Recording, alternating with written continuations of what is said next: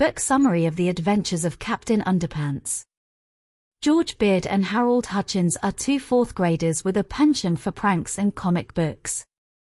They attend Jerome Horwitz Elementary School, where they often find themselves in the office of their grumpy principal, Mr. Krupp.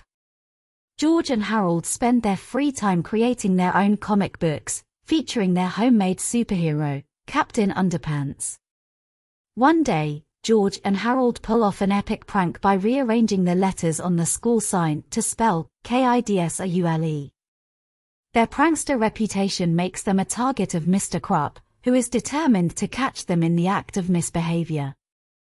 To avoid being punished for their latest prank, George uses a hypnotic ring from a cereal box to hypnotize Mr. Krupp. George and Harold make him believe he's Captain Underpants, a superhero from their comics. The transformation is triggered by snapping their fingers. As Captain Underpants, Mr. Krupp becomes a dim-witted but well-meaning superhero who fights crime in his underpants and a red cape.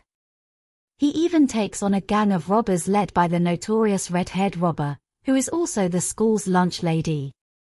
While the boys enjoy their new superhero friend, they soon realize they need to be cautious about the consequences of their actions. Mr. Krupp's alter ego can create chaos in the school, and they need to figure out how to reverse the hypnosis. As the story unfolds, the boys face an unexpected villain when they discover that a new science teacher, Professor Pippy P. Poopypants, plans to eliminate laughter from the world. They team up with Captain Underpants and use a plunger from the janitor's closet to thwart the professor's plan.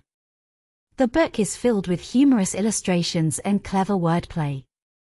It encourages young readers to embrace their creativity and imaginations. The Adventures of Captain Underpants is a wild and entertaining ride that introduces readers to the world of George, Harold, and their unforgettable superhero alter ego. This book's blend of humor, silliness, and clever storytelling has made it a favorite among young readers and a great starting point for the rest of the series.